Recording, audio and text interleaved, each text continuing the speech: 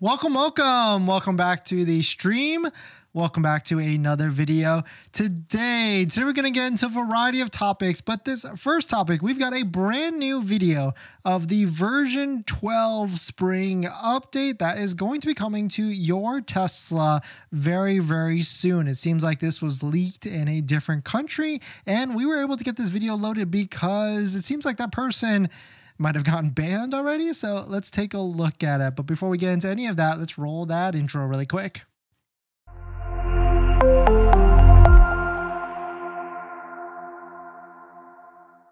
All right, so thanks for watching another stream. Thanks for watching another video. My name is Dennis, and I love talking about Tesla deal hacking, as I like to call it, but basically just getting the best deal on Tesla at the best financing rate. So definitely hit that subscribe if you're interested, and definitely check out my Patreon link down below in the description where you can support the channel and get access to the ultimate Tesla buying guide out there with all the best interest rates for financing your Tesla. So definitely check it out. Patreon link down below in the description. And shout out to my latest Patreon member, Vincent. Thank you for supporting. If you want to check it out, Patreon link down below in the description. So let's take a look at this. Shout out to Nick for posting this. Tesla's new version 12 UI for Model Y in action up close graphics are fire. So you can see this is very, very, very similar to the Cybertruck UI that is already out there. It seems like they were planning to do this from the get-go and to be able to have this vehicle, your vehicle, your Tesla, front, front dab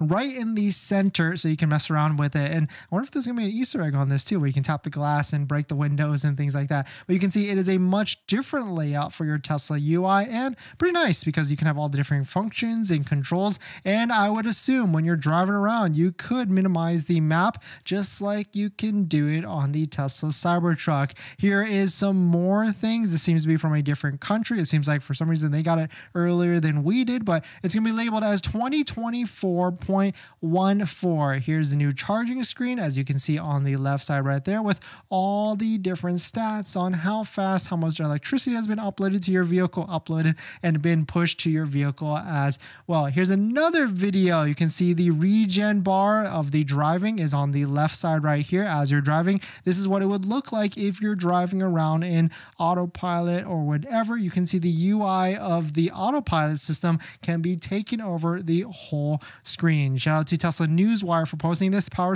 power consumption regen bar is now vertical with the Tesla Spring update. So pretty excited for this. Can't wait to see this actually roll out because I don't think we're going to get this on our Model X, which is unfortunate. I don't know why, maybe a little bit later, but Model 3 and Model Y owners with the AMD chip are going to be able to get it. Here is the full list. If you, in case you missed it, if you didn't see from what you saw or what you, if unless you didn't see this actual full list, feel free to push pause on this stream or video so you can read all of them as as you want. But Tesla also did post a post about it as well of the new features coming with the new 2024.14 release. And then here's another one of the enhanced autopilot screen. You can see it can show you all different visualizations if you're driving around in Tesla Autopilot. Pretty cool to see. Can't wait to actually see this come out for the Model 3 and the Model Y. And here's just another one if you're looking for the visualizations and, of course, Rainbow Road as well, which is a very, very, very nice feature. But let me know what your thoughts on it. Let me know what you're thinking. We're going to jump into the next topic, but just a quick word from our partner. But before we get into our next topic, we all love saving money, right? And we hate overpaying. That's why I'm excited to be partnering with Mint Mobile for our daily daily live streams. How much are you paying for your mobile plan and what do you actually get? Speed, coverage, data access to 5G, unlimited talk and text, and mobile hotspot even? Well, Mint offers all of these features for as low as $15 a month. They're built on the nation's largest 5G network and keep costs low because they can sell directly to you online and cut out the retail stores and salespeople. Switching is easy now with digital SIM cards. I just switched my second line to Mint and I did it all online without going into a store. If your phone doesn't have an eSIM, Mint will ship you a brand new SIM card for absolutely free. Don't be duped. Go to trymintmobile.com slash DennisCW, also linked down below in the description, and stop paying more than you have to for your phone plan. It only takes 15 minutes. And right now, new customers can get any plan for just $15 a month when they purchase three months or more, and that includes the unlimited plan, which is normally $30 a month. Thank you to Mint for partnering, and let's get back to the next topic. Thanks for that, everybody. Tapia, thanks for coming in. New to see this video. Hope you're doing well, Dennis. Thanks for keeping us up to date with the links and news. Hope you get to 100k subs soon. Thank you for dropping by, Tapia. Hopefully, you're doing well as well. And on top of that, couple channel announcements. Uh, let me think. Uh, Tenet is giving away a free electric vehicle charger. So if you're interested in Tenet, definitely check out their Tenet link down below in the description. On on top of that, uh, inventory discounts, or there's none, but there's demo discounts. But if you're looking to purchase a Tesla, don't forget to use a Tesla referral code, just like the one down below in the description. So you can get three months of full self driving, which is valued at $600. Super. Are you a Tesla shareholder? Yes, we are actually. David, Thanks for coming in. Do you think the Model 3 Ludicrous is going to release 420? I think so, yeah. If that, if not, maybe less than that. And also, David, you are you are our giveaway winner. I dropped off your package yesterday, so if you check that tracking number, it should be en route to you. Congrats to you again for winning the Tesla sipping glasses giveaway. And we got to figure out what other giveaway. We got to figure out what we're going to give away in uh, May as well, uh, for sure. We got to figure out what what that actually is going to be. In this next topic, we've got a list, a list of differences of all the differences between a Tesla Model 3 Ludicrous Performance and the all-wheel drive version. So let's take a look at it. But if you're just joining in, my name is Dennis. I love talking about Tesla deal hacking, so definitely hit that subscribe if you're interested. Shout out to Mike, cyberowners.com. He posted this new Model 3 Ludicrous upgrade versus the new all-wheel drive. Here's everything that's listed that's different between the current all-wheel drive and what's supposed to be on the brand new performance ludicrous here's what it is. Performance seats with ventilations. They look amazing. I would concur. The performance seats in the brand new ludicrous are pretty sick. They're almost as cool as like the model s plaid ones and no, no, I gotta say, if the Model 3 Performance comes under $55,000, it's gonna be hard for me not to put a deposit down because it just seems like such an exciting vehicle, uh, certainly on how it looks and everything. Number two, upgraded suspension and brakes. We know that the Model 3 Performance is going to have active electric suspension dampening, so this will be make this will make this might make it feel more comfortable and definitely more sporty. We got forged performance wheels. This was overhyped, I think, because I think all all performance wheels are forged, but maybe I'm wrong with that. But yes, comes with new warped wheels that are forged performance wheels. We got carbon fiber interior, that's kind of the same as was before. We got a new drivetrain, drivetrain and a rumored 0 to 60 in 2.9 seconds allegedly. And I certainly think that makes sense. And we can see that there's a lot more upgrades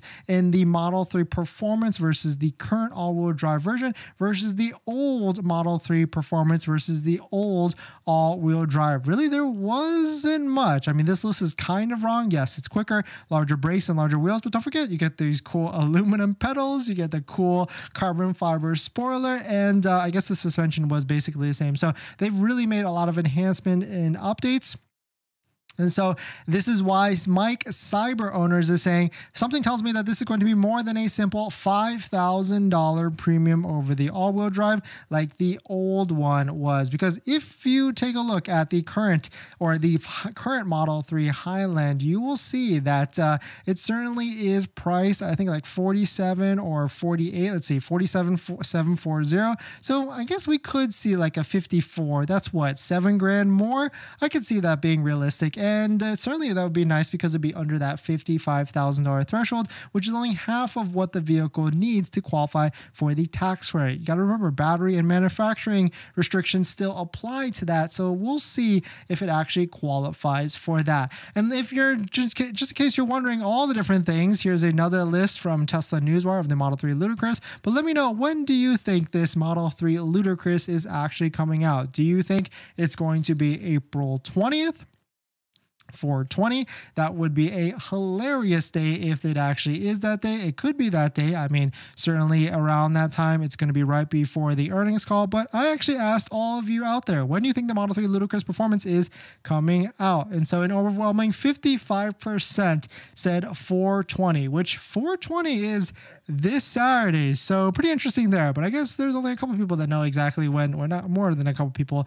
But uh, when we see a bunch of those reviews come out on YouTube from like MKBHD and like all the different reviewers that reviewed the Cybertruck early on, and that's when you'll know that the Model 3 Highland Ludicrous is actually out. Uh, second place came out came in at uh, 424 or after. So maybe this is thinking that they're going to let the month close because there's going to be potentially an Osborne effect. So maybe they're going to let that month close before releasing the Model 3 Ludicrous. Because I can tell you, there's probably going to be a lot of people on the sidelines that have Model 3 long range orders that once they see the Model 3 Ludicrous, they're going to they're going to say, hmm, and maybe try and convert and change their order or just hold off on their Model 3 long range. So maybe that's what they might push it all the way till May 1st. I hope they don't, but uh, you never know at the end of the day what they'll actually do. And they could change it. They could be thinking they're going to do it on April 20th and then change it at the last second.